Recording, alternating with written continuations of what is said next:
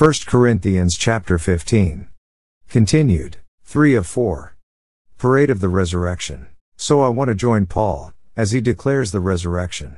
But now is Christ risen from the dead, and become the firstfruits of them that slept. 1 Corinthians 15:20. Christ is the firstfruits. In the Old Testament they had the festival of firstfruits, when they would bring the first sheaf of grain to the Lord. This meant that there would be more to come, otherwise it couldn't be the first fruits. The fulfillment of that is in the resurrection of Jesus Christ. He came back from the dead in a glorified body, and he is the only one who has come back from the dead, in a glorified body. For since by man came death, by man came also the resurrection of the dead. For as in Adam all die, even so in Christ shall all be made alive. 1 Corinthians 15 21 22. After the festival of the firstfruits came Pentecost, which was 50 days later. That found its fulfillment in Pentecost in the New Testament, when the church began. But it will find its ultimate fulfillment when Christ comes for his own, and they shall all rise to meet him in the air. That will be the real Pentecost. A Pentecostal brother of mine said, You know, Brother McGee, I'm expecting a Pentecost. I shocked him when I said, I'm looking for Pentecost too. He said, Oh, you don't mean it. I said, I don't mean it like you mean it. You think you are going to repeat the day of Pentecost down here. The Pentecost I am waiting for is when the Lord Jesus comes to take his church out of his world. Christ is the firstfruits. But every man in his own order, Christ the firstfruits, afterward they that are Christ's at his coming. 1 Corinthians 15:23. How wonderful that is. Christ is risen from the dead, and become the firstfruits of them that slept, meaning the sleep of death.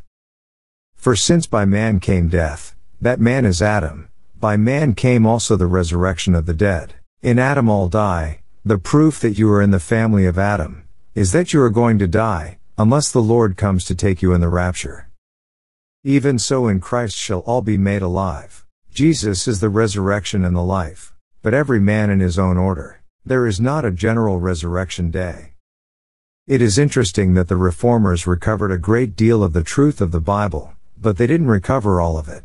We are living in a day when there is much Bible study in the field of eschatology, that is, the doctrine of the last things, prophecy. It is a study of prophecy. In times when great truths are being recovered, one also finds a lot of heresy, and just plain nutty ideas. There is a lot of false teaching about prophecy, largely because of ignorance of the whole scope of Scripture. I firmly believe that the book of Revelation should not be taught, unless one has studied the other books of the Bible first. Prophecy is important, but it is not everything. The great reformers recovered much Bible truth, but they missed this teaching of the Bible, that every man will be raised in his own order, that there is not general resurrection day. Christ is the firstfruits, and then afterward they that are Christ's at his coming. What is he coming for? He is coming for his church, my friend. Then cometh the end, when he shall have delivered up the kingdom to God, even the Father, when he shall have put down all rule, and all authority and power. 1 Corinthians 15:24. Then cometh the end, the end of what? The end of the age. How will the age end? There will come the great tribulation, and then there is going to be the millennial kingdom here on the earth. Satan will be released again for a little while, then he will be cast forever into the lake of fire, and the Lord Jesus Christ will establish his kingdom forever. That will be the eternal kingdom. Actually, the eternal kingdom is a further projection of the millennial kingdom, only the millennial kingdom will be a time of trial. Then cometh the end, when he shall have delivered up the kingdom to God. When will this take place? At the end of the millennial kingdom, Christ will put down all rule and all authority and power. For he must reign, till he hath put all enemies under his feet. 1 Corinthians 15:25. That is Satan. The last enemy that shall be destroyed is death. 1 Corinthians 15:26. I'll be glad when we get rid of that fellow. For he hath put all things under his feet. But when he saith all things are put under him, it is manifest that he is accepted, which did put all things under him. 1 Corinthians 15:27. So Christ is not subject to God, but wait a minute, notice what the next verse says. And when all things shall be subdued unto him, then shall the Son also himself be subject unto him, that put all things under him, that God may be all in all. 1 Corinthians 15:28.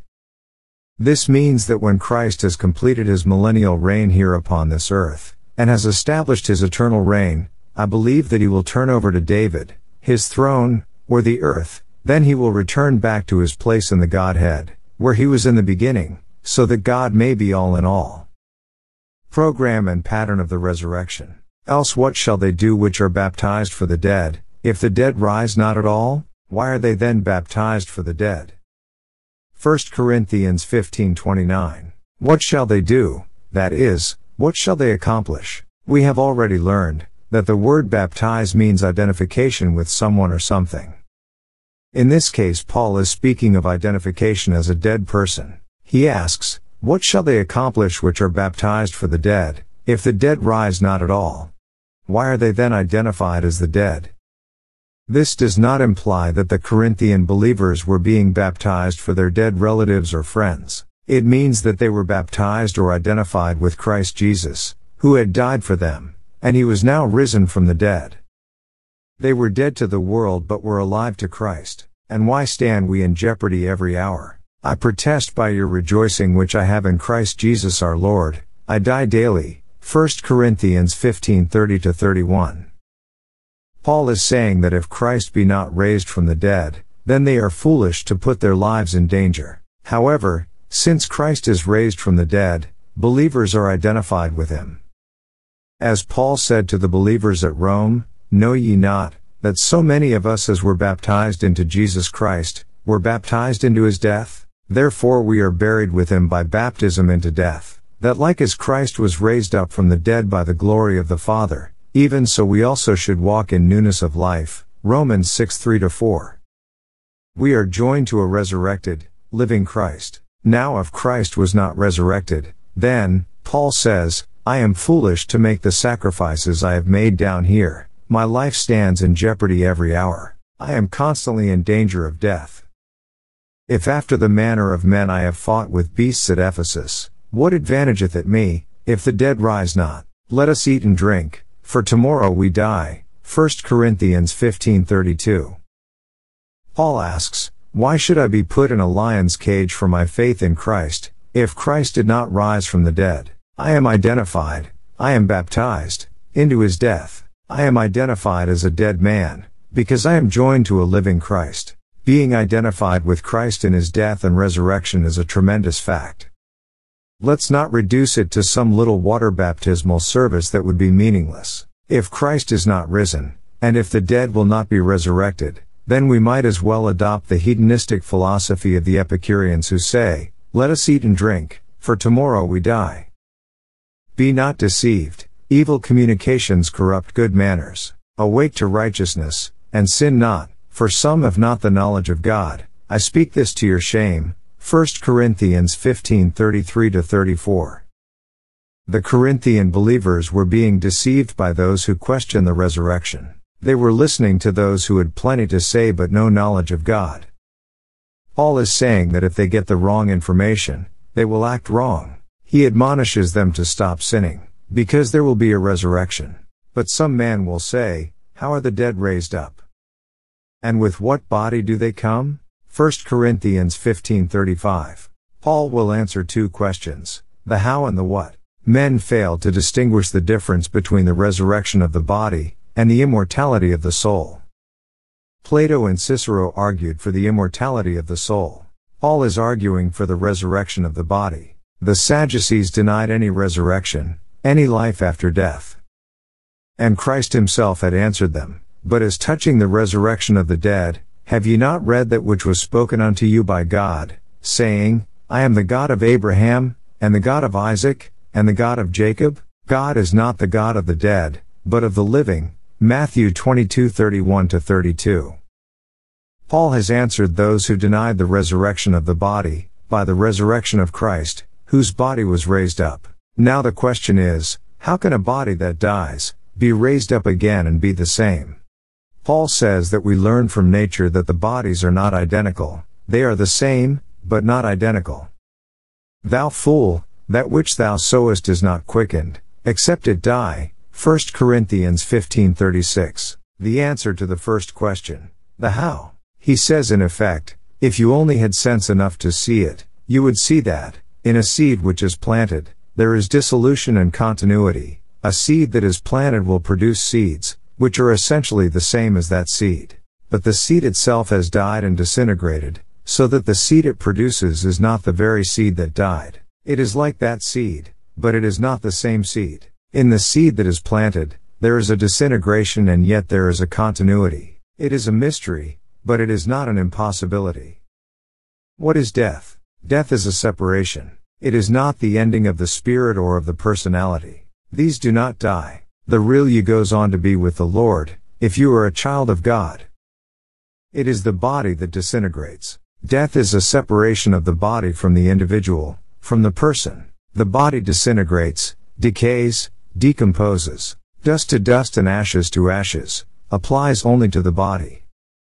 Paul now answers the second question What body is raised up? And that which thou sowest, thou sowest not that body that shall be, but bare grain, it may chance of wheat, or of some other grain. 1 Corinthians 15:37.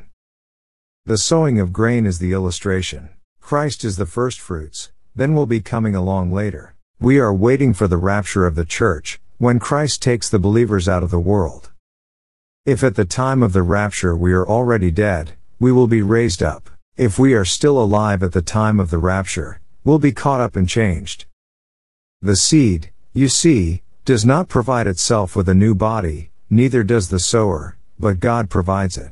But God giveth it a body as it hath pleased him, and to every seed his own body. 1 Corinthians 15:38. Then Paul moves into another area. All of this is the mystery of life. Actually the mystery of life is greater than the mystery of death. When you sow wheat, wheat comes up, not barley or corn. That little grain that forms on the stalk is like the one you sowed, not identical, but certainly very similar. Now he moves from the area of botany to zoology. All flesh is not the same flesh, but there is one kind of flesh of men, another flesh of beasts, another of fishes, and another of birds. 1 Corinthians 15:39. The difference between a dead body and the resurrection body is greater than the difference between men and beasts, fish and birds. Paul says that all flesh is not the same flesh. There are also celestial bodies, and bodies terrestrial, but the glory of the celestial is one, and the glory of the terrestrial is another. There is one glory of the sun, and another glory of the moon, and another glory of the stars, for one star differeth from another star in glory, 1 Corinthians 15:40 41. Now he has moved into the realm of astronomy and says that all the bodies of the solar system are not the same. The sun is not the same material as the moon, neither is it the same as the stars. The stars differ from each other. There is a solar system, a stellar system, planets, and suns. So also is the resurrection of the dead. It is sown in corruption, it is raised in incorruption, 1 Corinthians 15:42. You see, the body that was given Adam was always subject to death. Although he would not have died if he had not sinned, his body would have been subject to death. However, by resurrection we get a body that is incorruptible. It is sown in dishonor, it is raised in glory, it is sown in weakness, it is raised in power. 1 Corinthians 15:43. We will get glory and color and beauty and power, all of these things, with the new body. It is sown a natural body, it is raised a spiritual body. There is a natural body, and there is a spiritual body. 1 Corinthians 15:44. Many years ago in the city of New York, in fact, it was way back in the day when liberalism was called modernism, back in the 1920s, they had an argument about whether resurrection was spiritual. The liberal even today claims it's spiritual. He doesn't believe in bodily resurrection at all. A very famous Greek scholar from the University of Chicago read a paper on the passage from this verse. His paper put the emphasis on the word spiritual. He concluded by saying, Now, brethren, you can see that resurrection is spiritual because it says it's spiritual. The liberals all applauded, and somebody made a motion that they print that manuscript and circulate it. Well, A very fine Greek scholar was there, and he stood up. And when he stood up, all the liberals were a little uneasy. He could ask very embarrassing questions. He said, I'd like to ask the author of the paper a question. Very reluctantly, the good doctor stood up. Now, doctor, which is stronger, a noun or an adjective? A very simple question, but I'd like for you to answer it. He could see the direction he was going, and didn't want to answer it, but he had to. Well, he said, a noun is stronger, of course. Now, doctor, I'm amazed that you presented the paper that you did today. You put the emphasis upon an adjective, and the strong word is the noun. Now let's look at that again. It is sown a natural body, it is raised a spiritual body. He said, the only thing that is carried over in resurrection is the body. It's one kind of body when it dies, a natural body. It's raised a body, but a spiritual body, dominated now by the Spirit, but it's still a body. And, you know, they never did publish that paper. They decided it would be better not to publish it. May I say to you, just a simple little exercise in grammar, answered this great professor's whole manuscript, and his entire argument which he presented at that time. And so it is written, the first man Adam was made a living soul, the last Adam was made a quickening spirit, 1 Corinthians 15:45. You see, the first man, Adam, was psychical sukin, and zuzin, in the Greek. That means he was physical and psychological. The last Adam, Christ, is spiritual, pneuma or pneumatical, if you want the English equivalent. Howbeit that was not first which is spiritual, but that which is natural, and afterward that which is spiritual. The first man is of the earth, earthy, the second man is the Lord from heaven. 1 Corinthians 15:46 47. The first man is of the earth and is earthy. Choikos, meaning clay, rubbish if you please. There is so much talk of ecology today. Who messed up this earth anyway? Man. Because man is earthy. Everything that is the refuse of man is rubbish. He is that kind of creature. He fills the garbage cans. But the second man is the Lord from heaven. As is the earthy, such are they also that are earthy, and as is the heavenly, such are they also that are heavenly. And as we have borne the image of the earthy, we shall also bear the image of the heavenly. Now this I say, brethren, that flesh and blood cannot inherit the kingdom of God, neither doth corruption inherit incorruption. 1 Corinthians 15:48 50. We are all earthy. We are from Adam and that is our condition.